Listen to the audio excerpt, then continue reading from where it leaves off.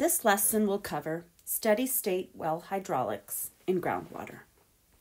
The learning objectives for this unit will be to calculate the flow rate of a well in a confined and unconfined aquifer.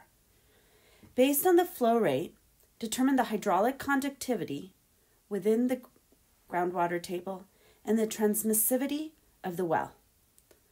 Based on this information, you can further calculate the drawdown within the well. First, you have a confined aquifer. When a well is placed in a confined aquifer, it will penetrate to the bottom of aquifer. There is a water table, usually above the confined aquifer, called the piezometric surface. As flow is pumped through the well, Q, and out of the confined aquifer, a drawdown occurs of dr dh. From the schematic, the following terms can be defined. B is the thickness of the confined aquifer. H naught is the undisturbed artesian head, referred to as the piezometric surface, and the water table. These three terms can be interchangeable. H is the artesian head at R, where R is some distance away from the well. HW is the water surface within the well. 2RW is the diameter of the well, and Q is the flow out of the well. Based on the well hydraulics, the flow rate can be determined within the well as Q equals 2 pi K times B times the entire quantity H2 minus H1 divided by the natural log of R2 and R1.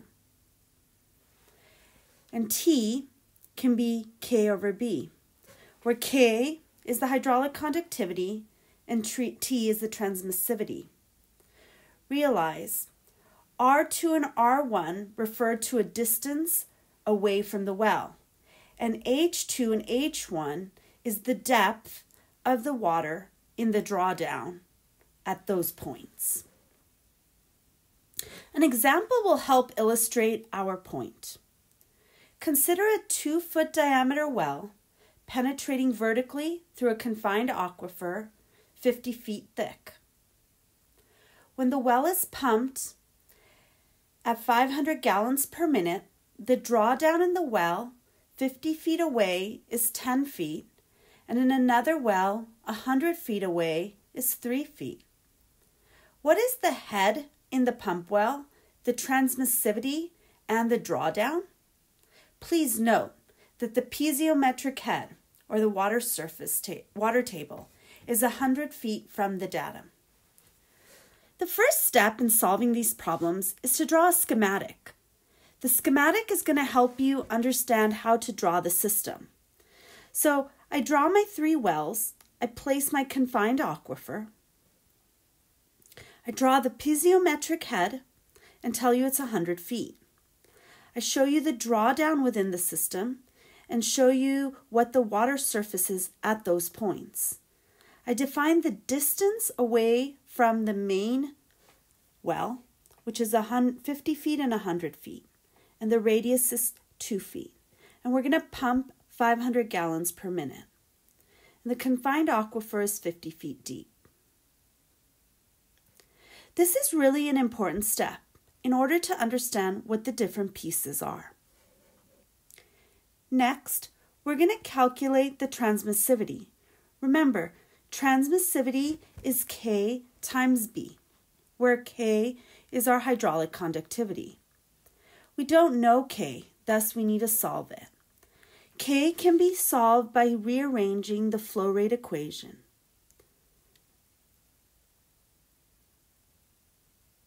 Next, we're going to solve for H2 and H1, realizing H2 and H1 is measured from the datum, not from the water surface table. Next, we'll plug in our values and determine that the hydraulic conductivity for this particular example is 0.16 gallons per minute per square feet. And the transmissivity is 7.9 gallons per minute per foot. So a good way to think of T, the transmissivity, is the veloc- is the is the rate at which the water is entering through the well. And the conductivity is how the water is moving within the confined aquifer.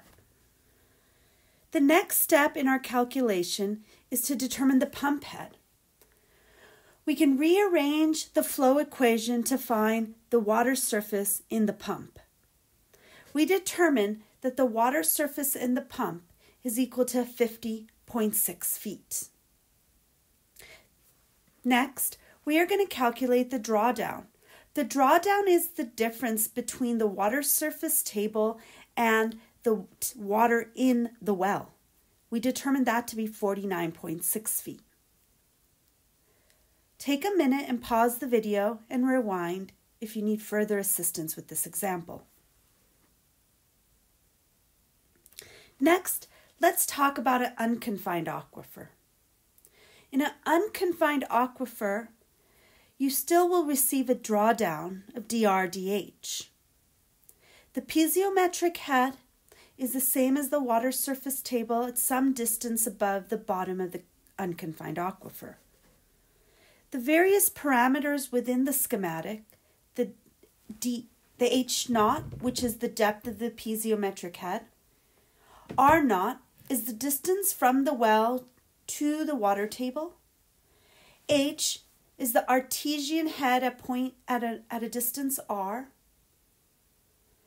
2rw is the well diameter and hw is the water surface within the well.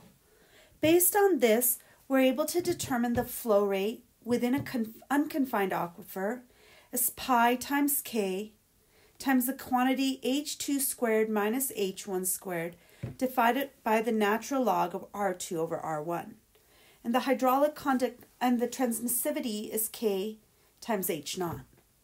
So let's solve an example to further illustrate this point. A well that's 12 inches in diameter penetrates 108 foot below the static water table. After a long period of pumping at a rate of 350 gallons per minute, the drawdown in a well is 57 feet, and a drawdown in a well 57 feet and 140 8 feet from the pump well were found to be 12 and 7.4 feet, respectively. Please determine the transmissivity and the drawdown. Again, drawing a schematic will really help illustrate the point. Next, the solution for transmissivity. We know T is equal to K times H naught. We need to determine K. We rearrange the flow rate equation, solve for H2 and H1, and we determine the K to be 0.118 gallons per minute per feet squared, and we find the transmissivity to be 12.4 gallons per minute per foot. Based on this information, we can now determine the solution for the water surface head. By rearranging the flow rate, we find that the head within the well is 68.9 feet, and the drawdown is 108 minus the 68.9 which is 39.1 feet. I hope this helps illustrate the difference between drawdown, transmissivity, hydraulic conductivity, and flow rates within a confined and unconfined aquifer.